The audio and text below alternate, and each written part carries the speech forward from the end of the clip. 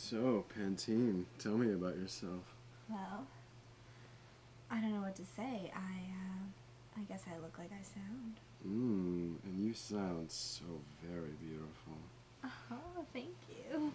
What are you wearing? Um, really low cut vest and skin tight jeans. Mmm. What are you wearing? Oh, I'm wearing a black shirt that's black like my lust for you, and a pair of jeans. Mmm, but it's getting real hot. Now, here we are, in your bedroom, with your camera and your boyfriend, and every opportunity in the world, Leah. And what am I gonna do? Not this. Not what you did.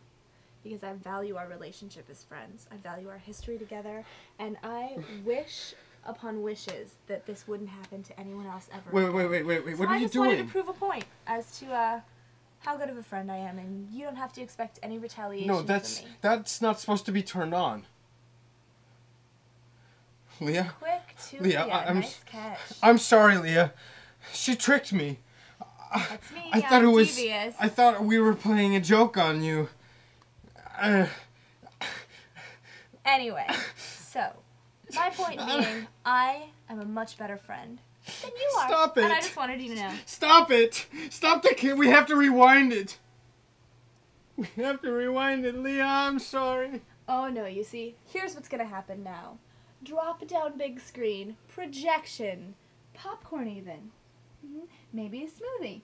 We're gonna sit around all together as a big happy family No. and watch this wonderful piece of art. No, that. Because That's not Leah needs to know that I am your BFF, best friends forever, and I would never do something like this to you. And I it to me?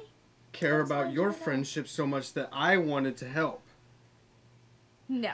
Anyway, um, I just wanted you to know how easy it is to do what you did, Uh, and how much gumption it takes to walk away. And I'm walking away for our friendship, Leah. Yours.